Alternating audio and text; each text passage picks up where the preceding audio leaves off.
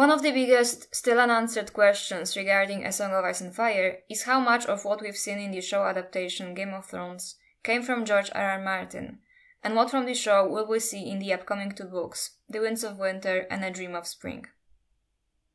Actually, that's not entirely true. We do have answers to a lot of these questions. Not all, but most. And we've had them for a while. The books will be very different from the show, obviously. But for some reason, everyone pretends otherwise. Today we will examine the answers we did receive and delve deeper into the resistance to the words of George R. R. Martin concerning his books, as well as why the show still has such a grip on the fans.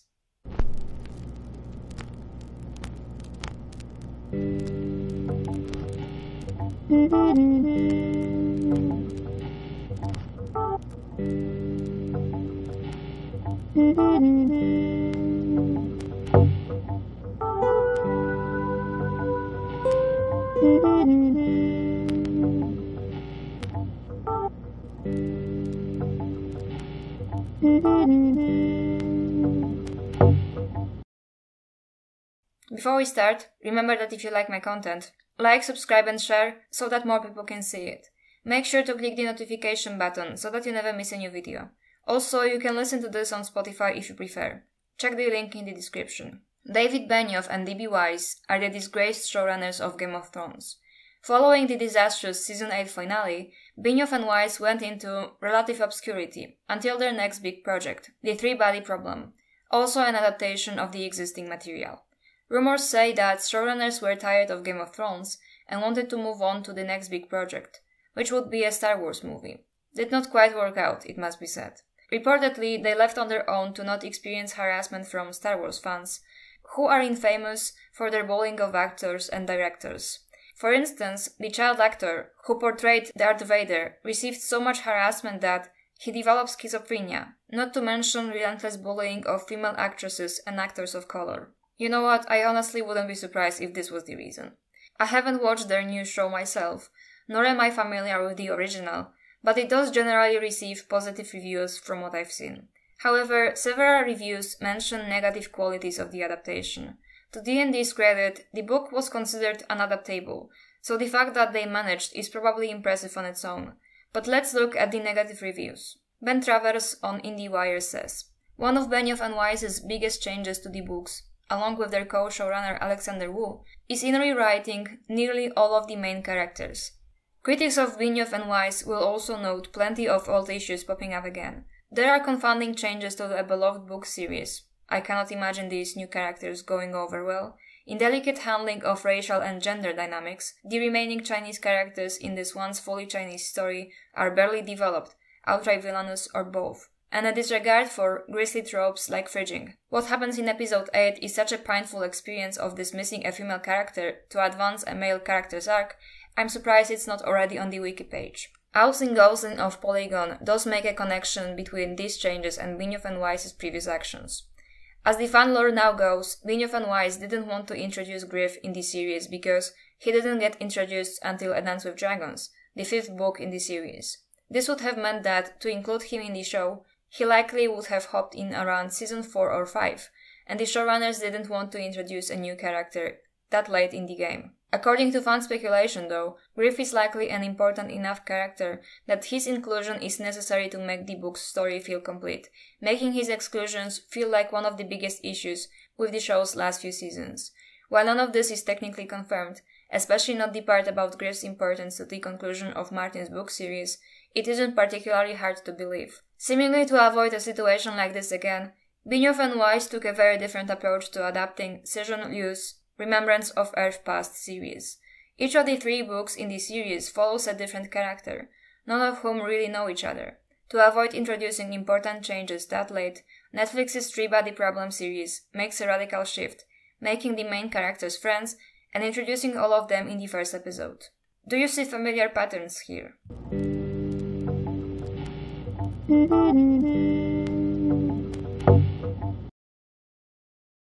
One of the lesser known facts to A Song of Ice and Fire fans is that D&D wanted to take serious creative liberties from the get-go, as opposed to the generally held consensus that it only started going downhill in later seasons, Specifically, D&D wished to cut one of the characters from the Stark family, Rickon. When showrunners David Benioff and Dan D.B. Weiss took their first swing at adapting Martin's A Song of Ice and Fire novel series, they missed the mark in several key areas. This led them back to the drawing board. The biggest thing was Dan and David called me up and had the idea of eliminating Rickon, the youngest of the Stark children, because he didn't do much in the first book. Martin told Hibberd in this excerpted chapter of the new book. I said I had important plans for him, so they kept him. As of A Dance with Dragons, all Mace Starks are assumed to be dead. Arya is missing, and Sansa is married to a Lannister. However, Wyman Manderly, a Stark loyalist, found out that Rickon survived and likely plans to crown him. This implies a very important role for him later on, especially since there may be several competing claims to Winterfell at the moment. Whatever is about to happen in the following books, Rickon is to have an important role in all of it, especially given his powerful warging abilities. Predictably, the character of Wyman Manderly did not necessarily make it into the show. There technically is a character like that, but his role is just not there. And even though D&D indeed kept Rickon, the character ended on a anticlimactic note. After disappearing for a few seasons, Rickon is unceremoniously killed off by Ramsay Snow solely to bait Jon Snow into acting like a fucking idiot. I sincerely doubt that Rickon's story in the books leads to something like that. So at the end of the day, D&D did follow George's instructions to keep Rickon, but were simply not interested in him enough to give him the role George planned for him, and ended up doing what they wanted all along, removing him from the narrative. There were more problems of this sort, as exemplified by the unearthed first pilot. Some people involved, including the actors, gave their insights of the experience. Bryan Cogman, Dan Benioff's assistant, later a co-executive producer. When he first shot the scene where the Starks find the direwolves, this was the version you never saw. The wonder of what a direwolf was wasn't coming across. It didn't seem important enough to the characters. And I'm little assistant Brian running around the set, yelling to anyone who would listen. These are direwolves. No one has seen these in a million years.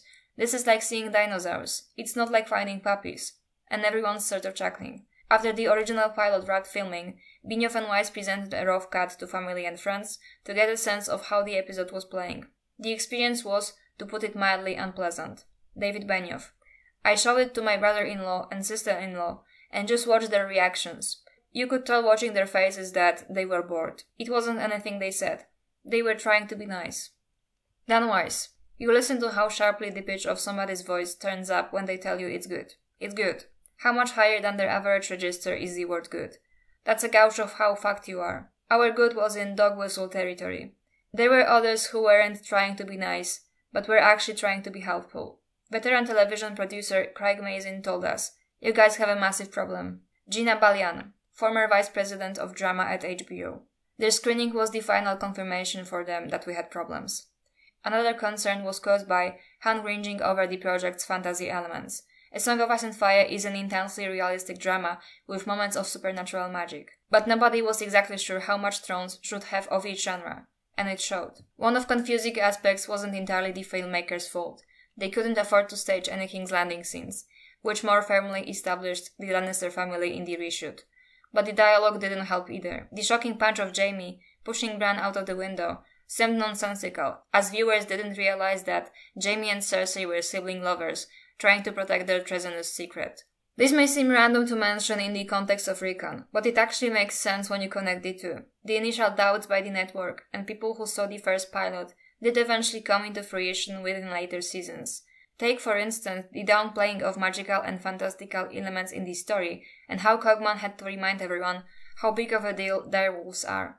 But the direwolves were all but gone in later seasons, weren't they? The showrunners preferred dragons, the connection between the wolves and their owners was not even properly explored. Dreams and prophecies were gone as well, because they wanted to make a political intrigue with magical elements, even though magic is at the core of A Song of Ice and Fire. Rickon is just another string in this pattern. At the end of the day, what they wanted would make it, and what they didn't want would not. Simple as.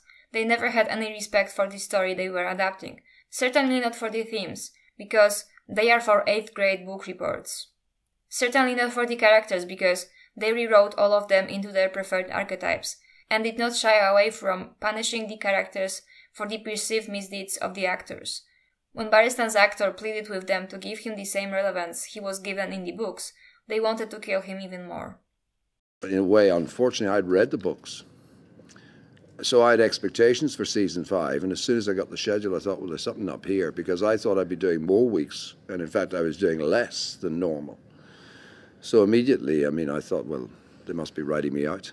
And but usually, you know, people are, are, are quite gracious about it and everything. And, and, this year, for the first time, we this year for the first time we, we got some pushback yeah. where, where, the actor said, um, "You sure about that?" Guess who it is?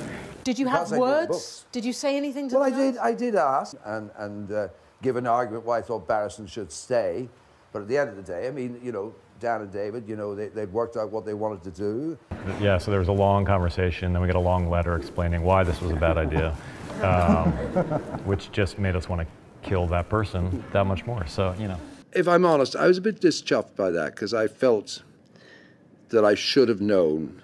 It wouldn't have made any difference, but I felt as a matter of just courtesy, I should have known beforehand.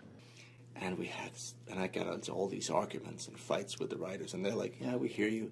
Yeah, but please, you have to blah blah blah." blah. And they go, "Yeah, we hear you, and we respect you, but we don't care. Okay, we don't. Fuck." You're an actor. Just say the words. They didn't say it like that, but that was kind of that was the that gist was the of gist it. of it. Yeah. I've gone through these these song and dance routines every season since season four, where I come back and I'm like, this doesn't make sense. I don't know how to do this. How do you do this? And they go, yeah, we hear you. Just try it The episode of season 8, and now the actor who played Varys has revealed that he wasn't thrilled with how his story ended. The death stings, especially considering how little Varys has been given to do over the past two seasons. Hill revealed he wasn't too happy with his character's arc either. I was very bummed to not have a final scene with Littlefinger. I was bummed not to have any reaction to him dying if he was my nemesis. That's been my feeling the last couple seasons, that my character became more peripheral, that they concentrated on others more. It was kind of frustrating. As a whole, it's been overwhelmingly positive and brilliant, but I suppose the last couple seasons weren't my favorite. Hill also said that he felt like Varys was acting out of character in those two seasons, as the Master Spy suddenly seemed to have no idea what was going on and exerted no influence over events. Last season and this season, there were great scenes, and then I'd come in and kind of give a weather report at the end of them. Film at 11. So I thought he was losing his knowledge. If he was such an intelligent man and he had such resources, how come he didn't know about things? That was frustrating for a couple seasons.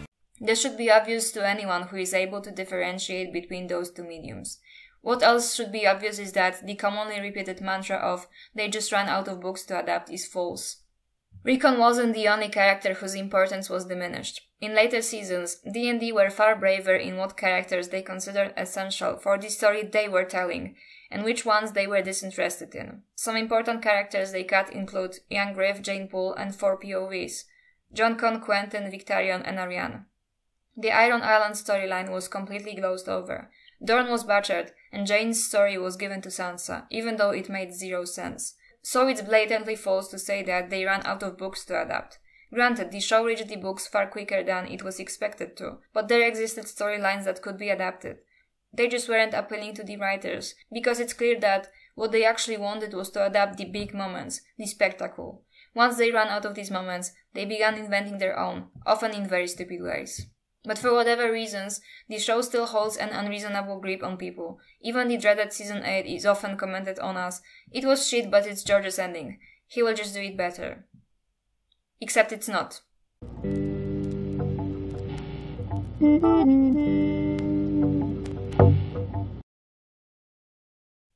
The existence of creative differences between the showrunners and author George R. R. Martin were clear all along to those who were willing to listen. For one, Martin left the production after season 4 to write Winds, having previously been involved with four seasons, relatively faithful to the books and writing one episode each season. However, even after that, he was consulted on various matters, and disregarded just as often. The celebrated writer penned the original books on which the Game of Thrones TV show was based, and served as an executive producer on all eight series. However, with Game of Thrones having now reached its controversial end, George has revealed that making decisions based on what should happen next on the show wasn't always an easy process. It can be traumatic, he told Fast Company, because sometimes their creative vision and your creative vision don't match, and you get the famous creative differences thing. That leads to a lot of conflict. Another time he said, during an interview with the New York Times, the 73 year old author revealed that he wasn't kept up to date by the final seasons of the hit HBO fantasy series.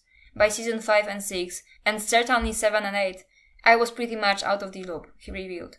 Asked why he became estranged from the show, he simply replied, I don't know. You have to ask Dan and David. Why was he out of the loop? Why was he estranged from the show? Could it be because they were changing shit and he couldn't do anything about it? One of the first comments regarding the ending was posted by George on his official blog right after season 8 finale. How will it end? I hear people asking. The same ending as the show? Different? Well, yes, and no, and yes, and no, and yes, and no, and yes. I am working in a very different medium than David and Dan, never forget. They had six hours for this final season. I expect the last two books of mine will fill 3000 manuscript pages between them before I'm done. And if more pages and chapters and scenes are needed, I will add them. And of course, the butterfly effect will be at work as well. Those of you who follow this Not a blog will know that I've been talking about that since season 1. There are characters who never made it onto the screen at all, and others who died in the show, but still live in the books. So if nothing else, the readers will learn what happened to Jeyne Poole, Lady Stoneheart, Penny and her pig, Skahaz Shavepate, Arianne Martell, Darkstar, Victarion Greyjoy, Sir Garlan the Gallant, Aegon VI, and a myriad of other characters both great and small that viewers of the show never had the chance to meet. Book or show, which will be the real ending? It's a silly question. How many children did Scarlett O'Hara have? How about this? I will write it. You read it. Then everyone can make up their own mind and argue about it on the internet. This statement is vague, perhaps because at that point George might have been binded by NDAs or something similar. Many people get the impression that this is an endorsement of the ending, that it says, well, the ending will be the same, but the road to it will be different. In my opinion, this is not what George is saying at all.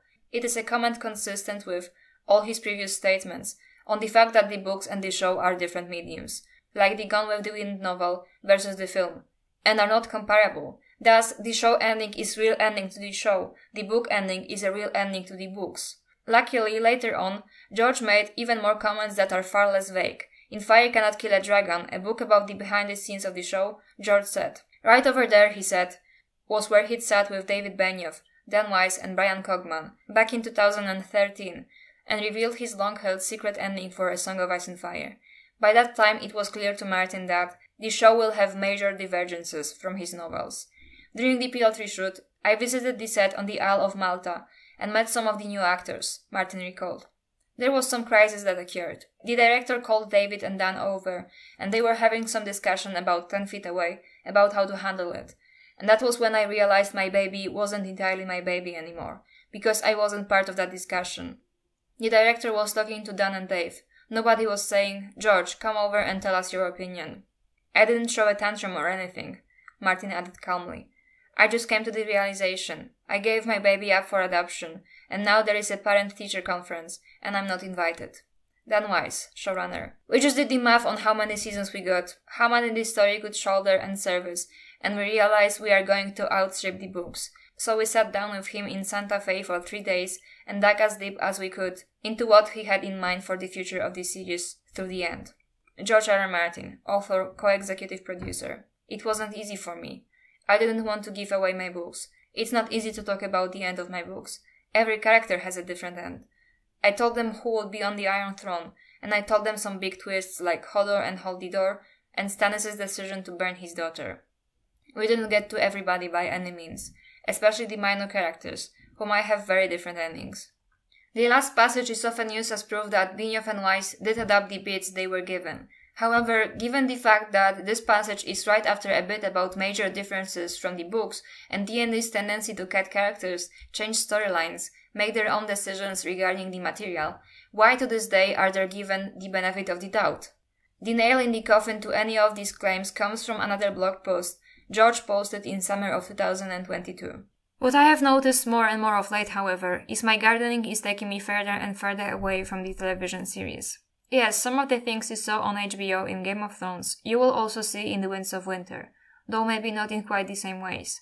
But much of the rest will be quite different. And really, when you think about it, this was inevitable. The novels are much bigger and much, much more complex than the series. Certain things that happened on HBO will not happen in the books, and vice versa. I have viewpoint characters in the books never seen on the show. Victarion Greyjoy, Arianne Martell, Areo Hotah, Jon Connington, Aeron Damphair.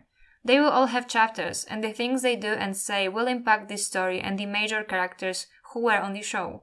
I have legions of secondary characters, not POVs, but nonetheless important to the plot, who also figure in the story. Lady Stoneheart, Young Griff, the Tattered Prince, Penny, Brown Ben Plumm, the Shavepate, Marwyn the Mage, Darkstar, Jeyne Westerling.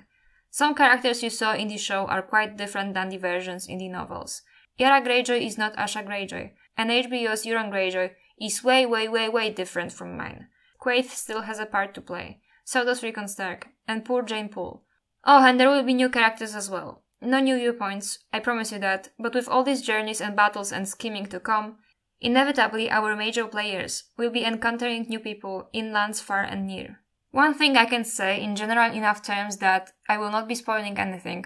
Not all the characters who survive until the end of Game of Thrones will survive until the end of A Song of Ice and Fire, and not all the characters who died on Game of Thrones will die in A Song of Ice and Fire. Some will, sure, of course, maybe most, but definitely not all. Of course, I could change my mind again next week, with the next chapter I write. That's gardening. This was posted almost two years ago. It's as straightforward as it can get. George is not the type of person to shade his former collaborators, so instead he uses the gardening smokescreen. But he does shade them there, talking about how the books are more complex. In my opinion, it really shouldn't surprise anyone. This should be known to anyone who knows how to differentiate between Game of Thrones and A Song of Ice and Fire. It is impossible for these two mediums to have the same or even similar endings because they were always different, and the showrunners believed themselves better writers than Martin, with a lot of people validating these beliefs. There exists an early draft for A Song of Ice and Fire George shared with his publishing house. It is treated more like a piece of trivia than anything concrete, because most of those change over the course of writing. There is, however, one part that, in my opinion, should not be disregarded. Five central characters will make it through all three volumes, however, growing from children to adults and changing the world and themselves in the process. In a sense, my trilogy is almost a generational saga, telling the life stories of these five characters three men and two women. The five key players are Tyrion Lannister, Daenerys Targaryen, and three of the children of Winterfell, Arya Bran and the bastard Jon Snow.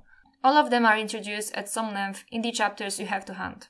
Before you barge into the comments to tell me that I'm copying because practically nothing from this outline made it into the books, look at this. I know the ending in broad strokes, but broad strokes are just broad strokes, and the devil's in the details. As I write these last two books, I will be moving towards the endings that I've known since 1991, but many of the fine details may be moved around and changed. Bran, Arya, Jon, Daenerys, and Tyrion are set to survive the story, as of now, we can only be truly certain of three twists revealed in Fire Cannot Kill a Dragon. There's also this very strong possibility of the Key 5 surviving. Yes, even Daenerys, because the showrunners D&D claimed themselves that they were the ones to come up with the scene of Daenerys' death back when they were filming season 3. I think the final scene between Jon and Daenerys is something we came up with sometime in the midst of the third season of the show. The broad strokes of it, anyway. But there was a tremendous amount of pressure to get it right, because we know that this is not a scene that's giving people what they want.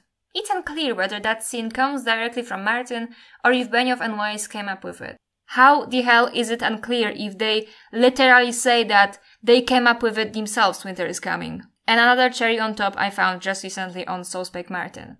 GRRM talked about Dorne. He wasn't exactly dissing the show, but he didn't have anything good to say about it.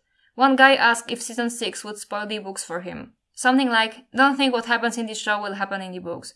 The show is completely different. The books will be nothing like that. You could really feel the dislike he had for it. This was in 2016, by the way.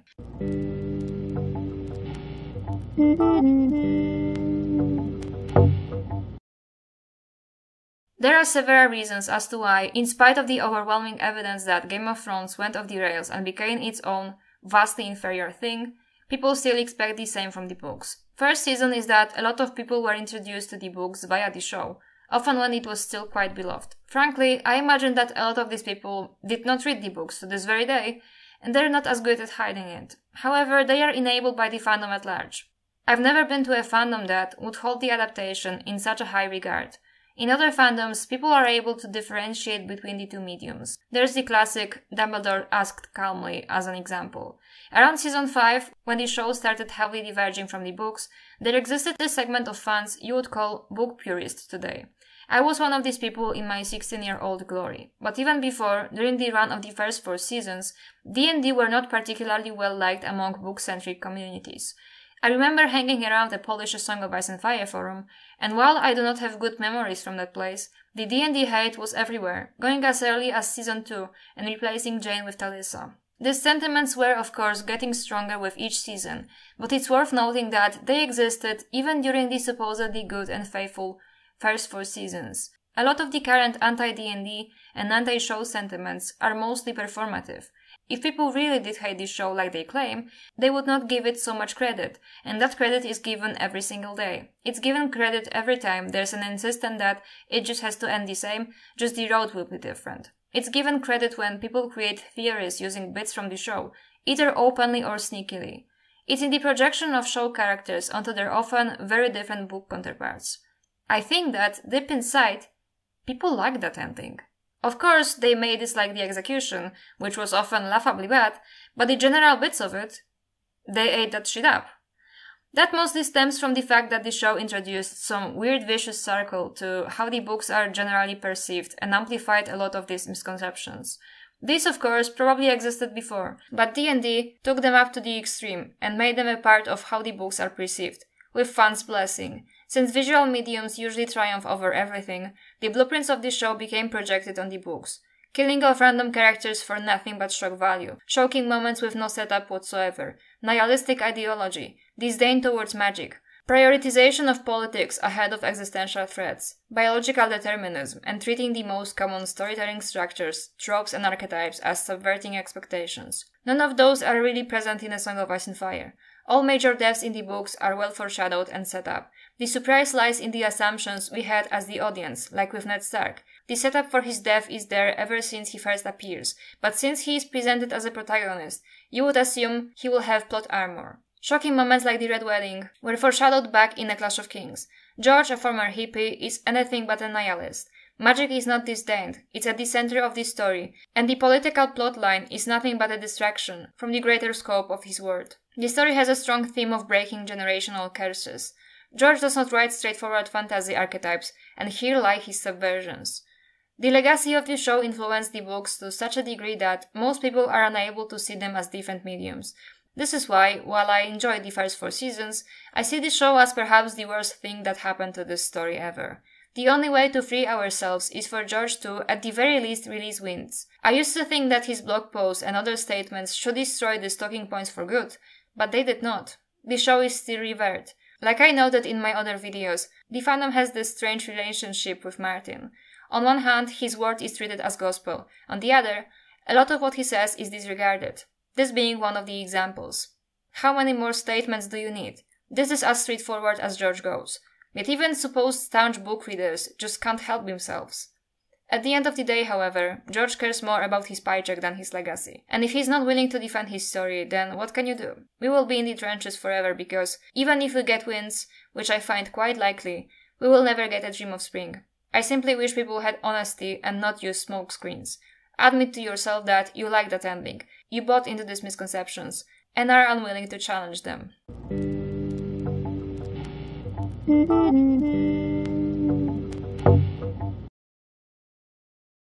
That Game of Thrones became a different story with a different ending should be obvious to everyone, but it isn't because the show is still held in extremely high regard even by people who claim to hate it. People like the ending of Game of Thrones. If it was written with 10% more care, they would hail it as the greatest thing ever. The dislike came from the botched execution, from which the George will do it justice talking points emerge. The general bits of the ending are expected to be a thing in the books, in spite of George being more than clear in the matter. Suffice to say, a lot of people will be disappointed by the winds of winter. Thanks for watching. Remember that if you like my content, like, subscribe and share so that more people can see it. Make sure to click the notification button so that you never miss a new video. And remember, Phoenix rises from the ashes, and ashes always stand on top.